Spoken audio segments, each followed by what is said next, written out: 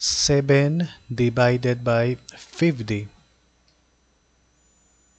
7 is less than 50, therefore complete. Always complete with 0. Here 0 point. Point only once. 70 is not less than 50.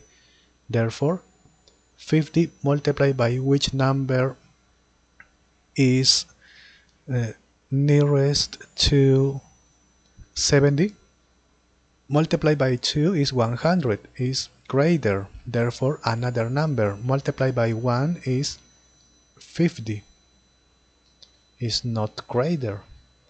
Subtract is 20 there is not number that goes down therefore complete always complete with 0 point is here. 200 50 multiplied by what by which number? Multiplied by 4 is 200 subtract is 0 0 therefore finish.